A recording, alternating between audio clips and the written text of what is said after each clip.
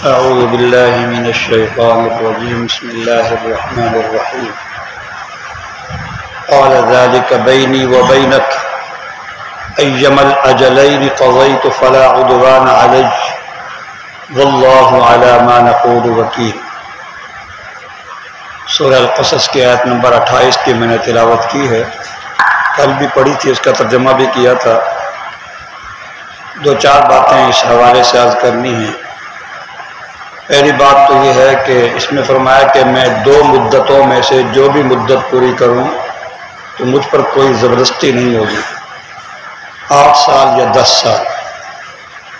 इब्न माजा, सुनान इब्न माजा की हदीस है मुस्द अहमद में भी है। हज़रत रुतबा रज़ी अल्लाह तु रिवायत फरमाते हैं कि हजूर वसल्लम ने हमें ये सूरह कसस जो है, हमें पढ़कर, पढ़ सुनानी शुरू की। जब हज़रत मूसा के इस किस्से पर पहुँचे तो फरमाया, हज़रत मूसा सलाम ने अपनी शर्मगाह की हिफाजत के लिए और पेट की रोज़ी के लिए आठ या दस साल दूसरों की नौकरी की।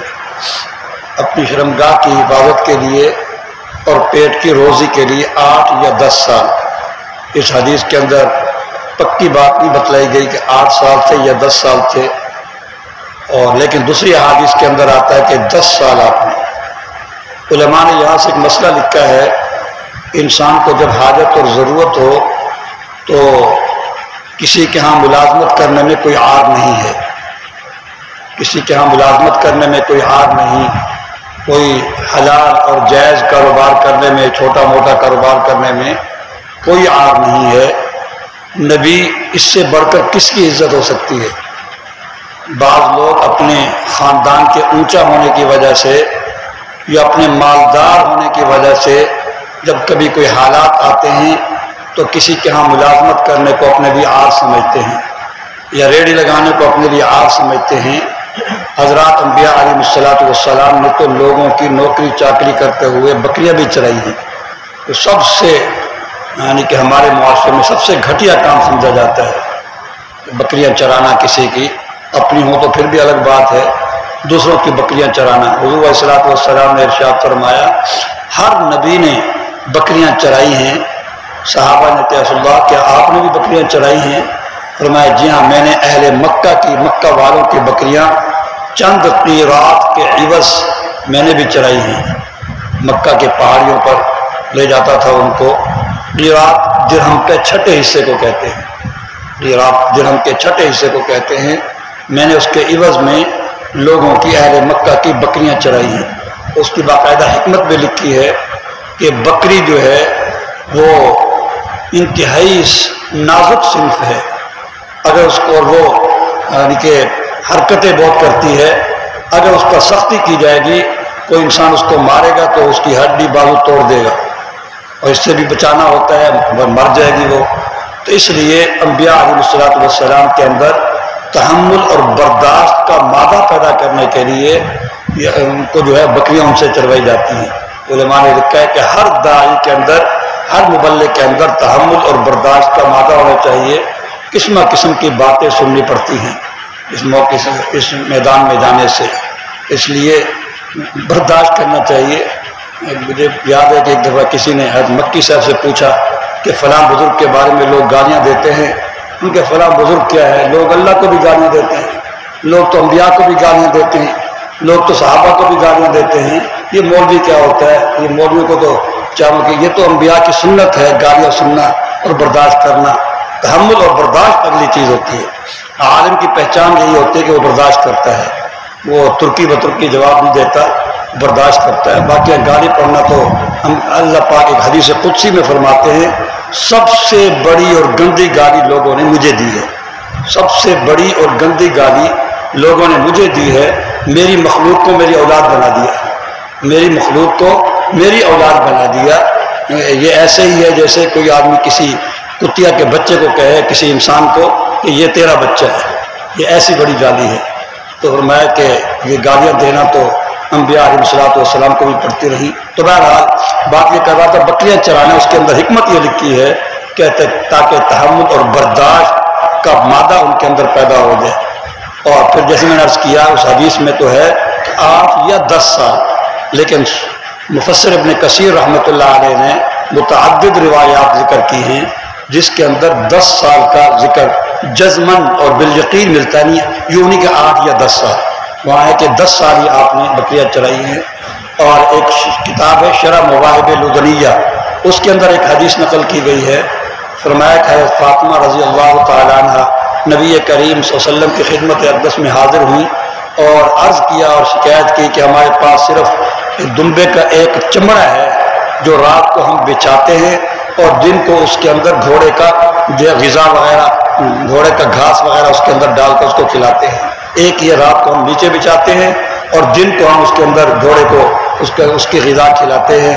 तो हजू सलाम ने इर्शाद फरमाया, बेटी, सब्र कर। अगर मूसा ने मदियन के अंदर अपनी बीवी के साथ जो दस साल गुजारे थे, वहाँ भी दस साल का ज़िक्र है। दस साल जो गुजारे थे, उनके पास सिर्फ़ एक ही उबा थी। वो रात को बिछाते थे और दिन को ओढ़ते थे। रात को बिछाते थे और दिन को ओढ़ते थे। ये अम्बिया सलाम की ज़िंदगी है और कितनी सादा ज़िंदगी है और कितनी सादगी के साथ, हालाँकि अल्लाह के सबसे ज़्यादा मुकर्रब जो तबका है वो अम्बिया सलाम का, सबसे ज़्यादा महबूब तबका जो है वो तो अल्लाह ताला इन अम्बिया सलाम को मालो दौलत से क्यों नहीं नवाजते? मालो दौलत से क्यों नहीं नवाजते? और ना ही इनके अंदर ख्वाहिश होती है, जैसा कि नबी वसल्लम के बारे में आता है उनका फ़कर जो था, वो इख्तियारी था। आपको बताया गया था, आपसे पूछा गया था कि फ़कीराना ज़िंदगी गुजारना चाहते हो या शाहाना ज़िंदगी गुजारना चाहते हो? फिर मैं फ़कीराना ज़िंदगी गुजारना जो ज़िंदगी अल्लाह के नबी को पसंद है, वो हमें पसंद नहीं है। हम तो माल और कोठियों की ख्याल रखते हैं। अम्बिया सलाम और ख़ासकर हमारे नबी करीम वसल्लम, उन्होंने अपने फ़कर को खुद अपनी मर्ज़ी से पसंद किया इसी तरह ये भी वाक़ लिखा है जब हरत मूसा सलाम पहुँचे तो एक मुनासिब सा रिश्ता जब नज़र आया तो शेख मदियन ने फ़ौर रिश्ते की बात चला दी फ़ौर तो इसलिए हजूसलाम ने इर्शाद फरमाया है अली, तीन कामों में जल्दी किया कर। एक जब नमाज़ का वक्त हो जाए, नमाज़ पढ़ लिया कर, दूसरा जब जनाजा हाजिर हो जाए, उसमें देर ना किया करो, और तीसरा जब कोई मुनासिब रिश्ता आ जाए, उसमें फिर ताखिर ना किया करो। तिरमजी शरीफ की हदीस है तो उसके अंदर आप ये फरमाया कि जब मुनासिब रिश्ता आ जाए तो उसको उसमें देर नहीं करनी चाहिए। इसी तरह एक और हदीस के अंदर हज़रत अबू हुरैरा रज़ी अल्लाह तआला से रिवायत है।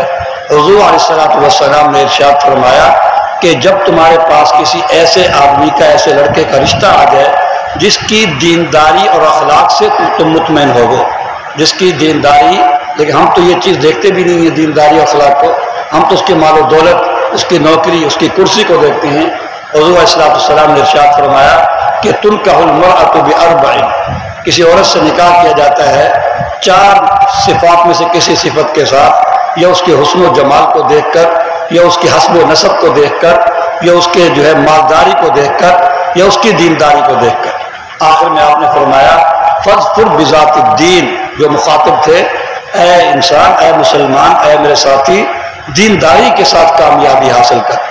तुझे निकाह में जो कामयाबी मिलेगी, वो हुसन जमाल की वजह से नहीं मिलेगी। निकाह जो कामयाब हो जाए न टूटे, निकाह की कामयाबी यही है कि ख़ानदान को घर चल पड़े, उसके अंदर किसी किस्म की तोड़ फोड़ ना हो टूट फूट ना हो, नाराजगियाँ ना हो तो हुसन जमाल से जो निकाह होगा, वो एक दिन ख़त्म हो जाएगा।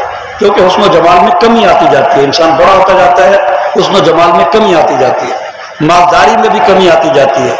इसी तरह हसब नसब कभी कुर्सी है, कभी कुर्सी नहीं है। और माल दौलत भी ढलती छाऊँ है, लेकिन दीनदारी आप देखते हैं कि जितना इंसान बड़ा होता जाता है, उसके अंदर फिर खौफ खुदा, तकवा, नमाज़ की तरफ़ रुजू, मस्जिद की तरफ़ रुजू बढ़ता चला जाता है तो जिससे आपने दीनदारी की बुनियाद पर मोहब्बत की होगी, उस मोहब्बत में इजाफा होता चला जाएगा। फजपुर बिजात दीन, दीनदार के साथ अपने आप को कामयाब कर तो कामयाब हो।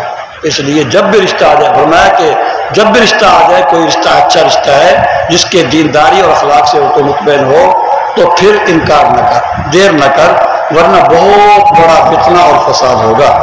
आजकल यही मसाइल है, ये फितना और फसाद बेरा रवि लड़कियों का भाग कर, निकाह कर लेना और वजूहत ताल्लुक कैम कर लेना, इसी बिना पर होता है कि उम्र हो जाने के बावजूद निकाह नहीं होता। ये पहले वो एम एस करेगी पहले डॉक्टर बनेगी डॉक्टर बनते बनते तीस पैंतीस साल हो जाते हैं। अब तो खुद डॉक्टर कहते हैं कि पहले बुढ़ापा पचास, पचपन, साठ साल पर आता था, अब तो औरतें चालीस, पैंतालीस पर ही बूढ़ा होने शुरू हो जाती हैं। अब तो मर्द भी बूढ़े होने शुरू हो जाते हैं, हड्डियाँ कमज़ोर होनी शुरू हो जाती हैं।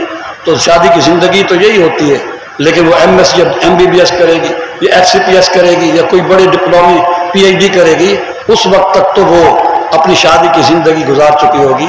इसलिए ये मसाइल पैदा होते हैं इसलिए सारी खराबियाँ पैदा होती हैं। और एक इसके अंदर ये फरमाया गया कि जिसको मुलाजम रखो, वो कवि होना चाहिए, कवि और अमीन। एक तो इस आयत के अंदर हज़रत मूसम की तारीफ़ है कि वो कवि भी हैं और अमीन और अमानतदार भी है। उसके साथ साथ हमें यह नसीहत है कि जिसको भी, जिस काम के लिए रखो, उसका वो कवि हो। हर काम की कुत अलग अलग है जिस कुत मुराद नहीं है। जहनी कुत भी इसके अंदर शामिल है, हर लिहाज से।